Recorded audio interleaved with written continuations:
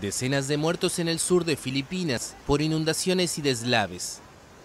Las fuertes lluvias han afectado a varias ciudades y pueblos de la isla de Mindanao. Según los servicios meteorológicos en Manila, los fenómenos fueron en parte causados por la aproximación de la tormenta tropical Nalgae, situada más al noreste y que debía llegar al archipiélago en las próximas horas.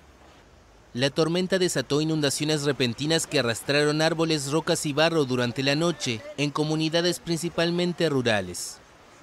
Equipos de emergencia y unidades militares patrullaban áreas buscando a sobrevivientes.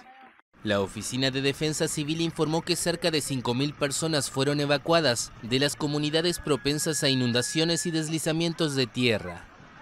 Un promedio de 20 tifones y tormentas azotan Filipinas cada año, matando a personas y ganado y destruyendo granjas, casas, carreteras y puentes. Sin embargo, el sur rara vez se ve afectado.